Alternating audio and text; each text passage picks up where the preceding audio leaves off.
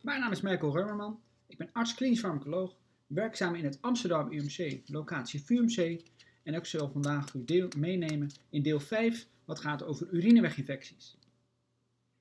Hier ziet u het grotere overzicht van alle onderdelen en alle delen van deze antibiotica-reeks. En wat ik zoals vandaag zei, gaan we het hebben over urineweginfecties.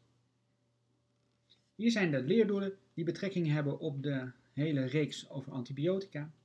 En vandaag is het leerdoel het inzicht krijgen in de meest voorkomende infectieziekten, specifiek in dit geval de urineweginfecties, en proberen een goed onderbouwde antibiotische therapie te kunnen beargumenteren voor een patiënt met een urineweginfectie.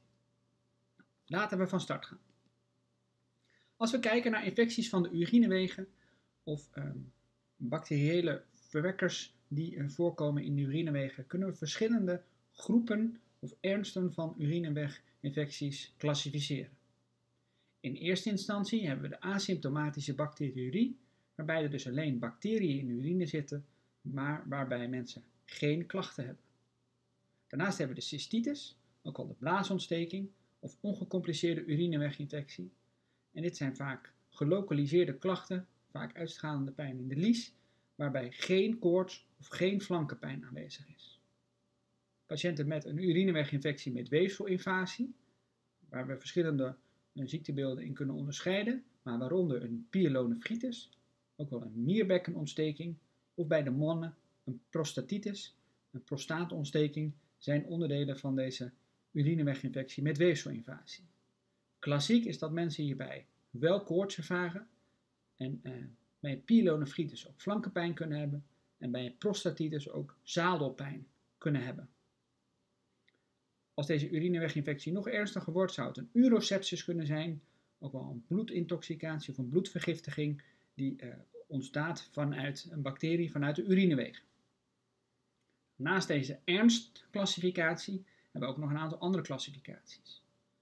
Sommige mensen zijn namelijk risicogroep.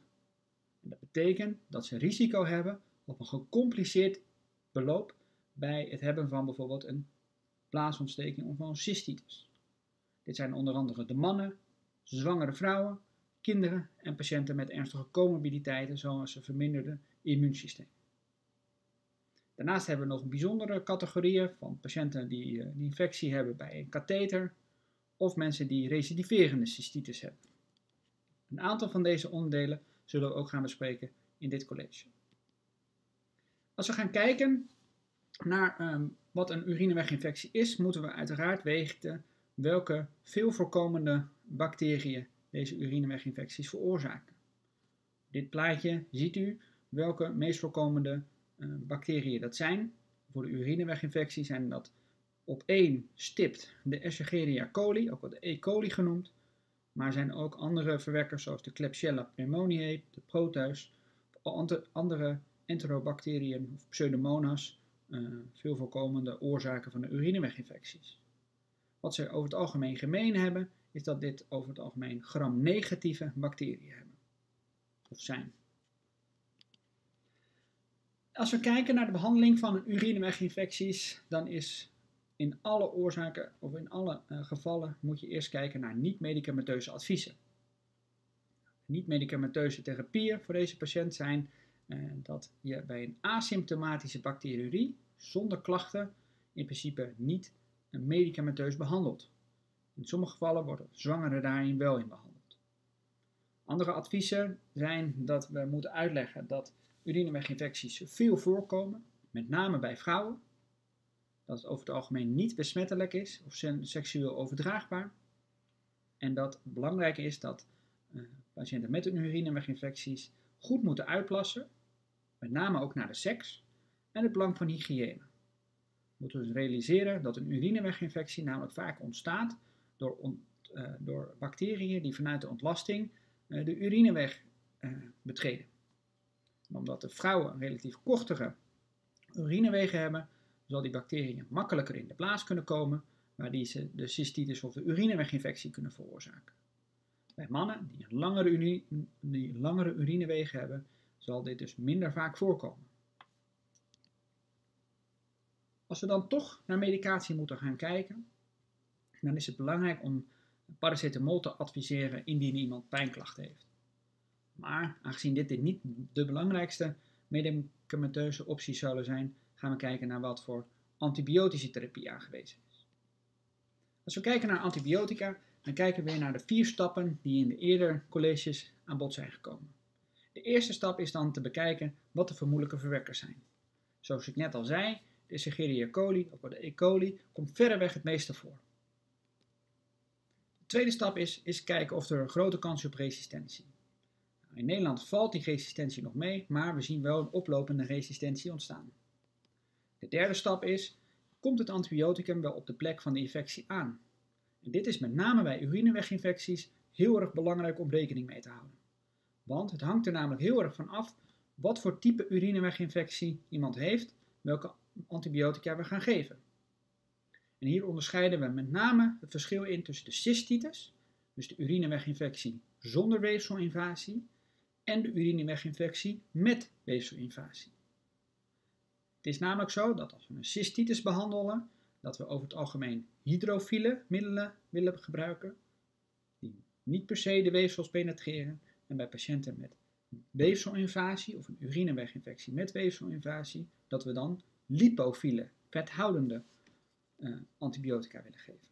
Hier gaan we zo meteen wat meer op inzoomen. De vierde stap is vervolgens, is het antibioticum veilig? Um, en als we deze stappen zijn doorlopen, dan kunnen we bekijken of het een goede antibiotische therapie is. Hier weer op een rijtje um, de verschillende verwekkers en de verschillende antibiotica die we kunnen geven voor patiënten met een cystitis, dan wel een urineweginfectie zonder weefselinvasie of met weefselinvasie. U ziet dat het over het algemeen relatief veel resistentie ontstaat bij de verschillende antibiotica. met name dat de nitrofurantoïne goed werkt voor Escherichia coli, maar dat er niet zo heel veel bekend is over de andere verwekkers en de effecten van nitrofurantoïne. Een ander ding wat op moet vallen is dat met name die pseudomonas, op de vijfde stap staat, dat daar eigenlijk alleen de ciprofloxacine nog enigszins uh, tegen gaat werken, maar ook dat daar enigszins resistentie voor is opgebouwd. Stap 2 is kijken naar de resistentie. Nou, we weten dan ook dat de resistentie voor E. coli, voor, de, de, resistentie voor trimetoprim bij E. coli relatief hoog is en ook voor amoxicilline clavulanzuur. En wat ik net eigenlijk al zei, is de pseudomonas wordt eigenlijk alleen gedekt door de ciprofloxacine. Als we kijken naar stap 3, komt het antibioticum wel op de juiste plek aan, was het dus belangrijk om onderscheid te maken tussen wat eh, en waar de infectie zit. Bij een asymptomatische bacteriurie hoeft er niet per se ontsteking te zijn, dus geen infectie, en dan uh, zullen we dus de antibiotica in principe niet gaan geven. Bij een cystitis, dus een urineweginfectie zonder weefselinvasie, dan zit de infectie met name in het uroteel. Dus dat is de binnenste laag van de, van de blaas. Um, en die staat in nauw contact met de urine, wat over het algemeen een hoog watergehalte heeft. Dus als je antibiotica geeft die in dit water oplossen, in de urine oplossen, dan zal het in contact staan met dat uroteel, wat uh, geïnfecteerd is en zal het dus goed gaan werken. Bij een urineweginfectie met weefselinvasie, over het algemeen wat in het pilum zit, in het nierbekken of in de prostaat, wat een hoog vetgehalte bevat, wil je dus antibiotica hebben die van vet houden. Ook wel lipofiele antibiotica. De laatste stap is bij urineweginfecties bij een katheter moet je ook denken aan een biofilm. Het is een laagje wat over de bacterie heen gaat, wat eigenlijk beschermend is tegen heel veel verschillende antibiotica. En dit is heel erg lastig om een urineweginfectie bij een katheter te behandelen. En eigenlijk de beste manier om dit te behandelen is de katheter te verwijderen. Maar uiteraard zijn daar heel veel gevolgen van. Dus, wat betekent dit nou concreet? Bij een urineweginfectie met een asymptomatische bacteriurie is er in principe geen behandeling nodig. Bij een cystitis, dus een urineweginfectie zonder weefselinvasie, kan behandeling volstaan met hydrofiele middelen, maar kan je ook lipofiele middelen geven. Maar bij patiënten met een pyelonefritis, dus een urineweginfectie met weefselinvasie, is behandeling met lipofiele middelen alleen maar geschikt. Dus je moet lipofiele middelen geven bij een pyelonefritis of een urineweginfectie met weefselinvasie. En vandaar dat we eigenlijk op drie andere antibiotica uitkomen dan bij urineweginfecties zonder weefselinvasie. De vierde stap is, is het antibioticum veilig? Uiteraard moet u dit voor elk middel afgaan, maar hier een aantal belangrijke punten. De nitrofurantoïne, eh, die zou bijvoorbeeld niet kunnen bij nierfunctiestoornissen of eh, vrouwen die eh, meer dan 38 weken zwanger zijn. Fosfomycine, daar is er nog twijfel over de effectiviteit van lange behandeling, daar gaan we het zo over hebben. De trimetoprim zou theoretisch niet moeten kunnen bij zwangerschap, omdat het een middel is dat aangrijpt op foliumzuursynthese. En trimetoprim zou ook moeilijkheden hebben bij, of werkt ook minder goed als je nierfunctiestoornissen hebt. Ciprofloxacine, dat uh, is eigenlijk gecontraindiceerd tijdens de zwangerschap, omdat het met name kraakbeenstoornissen geeft bij het ongeboren kind. Amoxicilline clavulaanzuur moet u opletten op allergieën. En bij cotrimoxazol is ook weer een theoretische kans dat het niet moet bij de zwangerschap, omdat ook cotrimoxazol aangrijpt op de foliumzuursynthese.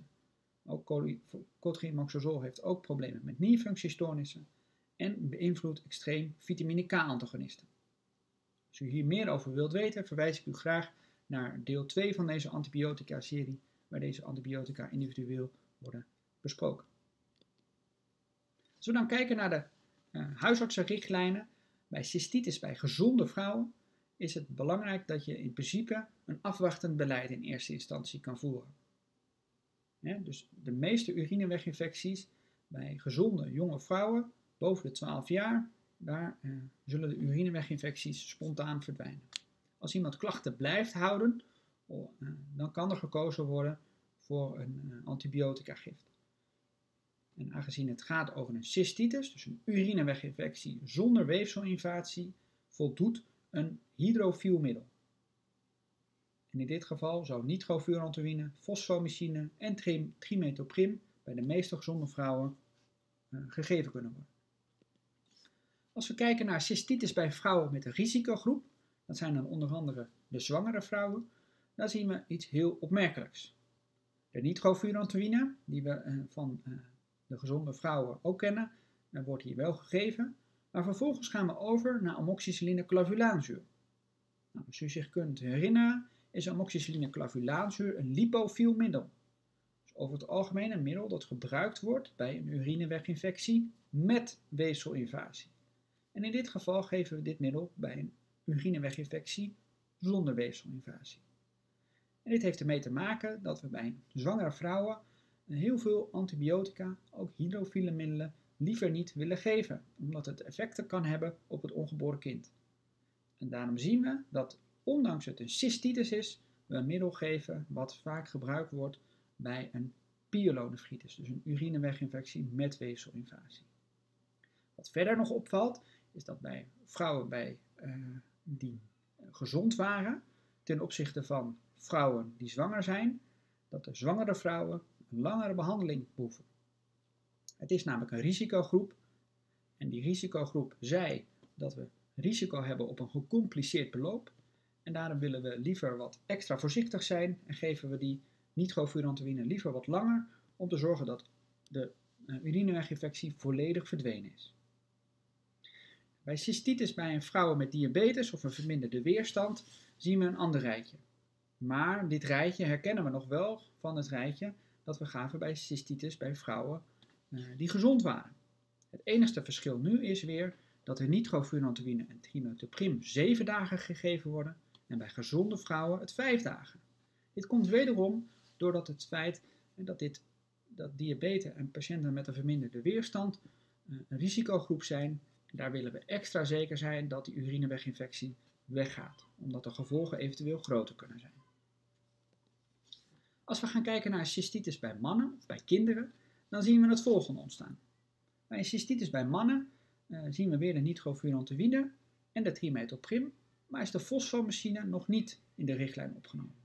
Er zijn namelijk twijfels of die fosfomycine, een eenmalige gift fosfomycine, werkt en genoeg werkt bij mannen om er zeker van te zijn dat zelfs deze risicogroep uh, de urineweginfectie volledig klaart. En daarom is die fosfomycine nog niet in de richtlijn opgenomen. Wederom ziet u weer dat deze risicogroepen langer behandeld worden dan gezonde vrouwen, die vijf dagen behandeld worden. De cystitis bij kinderen, daar zien we eigenlijk een vergelijkbaar beeld als bij de urineweginfecties bij de zwangeren. We zien weer op de eerste instantie nitrofurantoïne, plek 1, en dan worden alle andere hydrofiele middelen niet gegeven en gaan we weer naar amoxicilline clavulaanzuur, een lipofiel middel, wat we over het algemeen kennen bij een urineweginfectie met weefselinvasie. En hier zijn eigenlijk dezelfde aspecten die bij de zwangere spelen, gelden ook bij een cystitis bij kinderen. Het is namelijk een heel aantal uh, hydrofiele middelen uh, willen we niet geven, omdat ze kwaad kunnen bij het kind. En uh, zien, soms zien we ook nog wel eens andere verwekkers bij kinderen. Als we dan gaan kijken bij urineweginfecties met weefselinvasie, zien we het volgende ontstaan. We zien de hydrofiele middelen dus niet meer terug, maar we zien nu de lipofiele middelen uh, die gegeven worden. Nou, bij vrouwen en bij kinderen uh, zien we, uh, bij vrouwen zien we de ciprofloxacine, amoxicilline, clavulaanzuur en de cotrimoxazol. En de ciprofloxacine is gecontraindiceerd bij kinderen, dus vandaar dat deze eerste keuze bij kinderen niet aangewezen is. En de eerste keuze is daarom amoxicilline clavulaanzuur. Het verschil bij mannen is dat ze, eh, eigenlijk de overeenkomst is dat ze dezelfde middelen gebruiken, maar het verschil is dat mannen altijd bij urineweginfecties met weefselinvasie 14 dagen behandeld worden. We zagen ook bij mannen eh, met een cystitis dat die ook langer behandeld worden, niet per se 14 dagen. Als ze weefselinvasie hebben, geven we ze wel 14 dagen uh, lipofiele antibiotica. Dat was het zover over de urineweginfecties op het acute moment. Maar er zijn ook frequent mensen die recidiverende urineweginfecties hebben. Wat doen we dan? Het belangrijkste is dan uitleg te geven dat er vaak geen duidelijke oorzaak is, maar dat er wel veel risicofactoren aanwezig zijn. En voornamelijk ook de adviezen die gegeven worden bij een urineweginfectie moeten nagestreefd worden.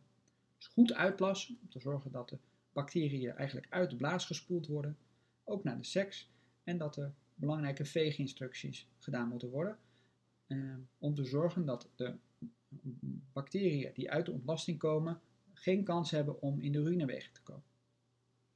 Nou, de adviezen hier zijn dan ook ruim drinken, de blaas geheel uitplassen, zorgen dat alle urine eruit is, de mixie niet uitstellen, maar gewoon als je moet gaan en uh, specifieke lediging na de seks. Nou, wat kunnen we dan uh, aan medicamenteuze opties doen. Um, er zijn aanwijzingen dat cranberry tabletten bij uh, patiënten die een recidiverende urineweginfecties hebben, dat die kunnen werken. Maar dan moet het wel belangrijk zijn dat er, de dosering relatief hoog moet zijn. Um, en dat dat met name bereikt kan worden door cranberry tabletten. De cranberry drank is de dosering nog niet vastgesteld, maar die ligt waarschijnlijk behoorlijk hoog. Dus je moet veel cranberry drank drinken, uh, wil het effect gaan hebben. Andere opties die je zou kunnen doen bij postmenopausale vrouwen is uh, estradiol uh, tabletten, dus de oestrogenen. Um, en bij alle andere groepen dan zouden bijvoorbeeld postcoitum prophylaxe gegeven kunnen worden, dus antibiotica prophylaxe na de seks, als dat een uitlokkende factor is, of een continue prophylaxe. Bij de kan nitrofurantoïne of trimetoprim gebruikt worden. En die worden dan dagelijks voor de nacht ingenomen. Dit heeft met name als, als effect omdat met name in de nacht je het minste plast en dan de kans het grootste is dat er een urineweginfectie ontstaat. Ik hoop dat u met deze informatie uh, voldoende uh, inspiratie heeft om uh, deze kennis toe te passen in de praktijk. Ik hoop dat u ook bij de volgende delen aansluit. Hopelijk tot een volgende keer.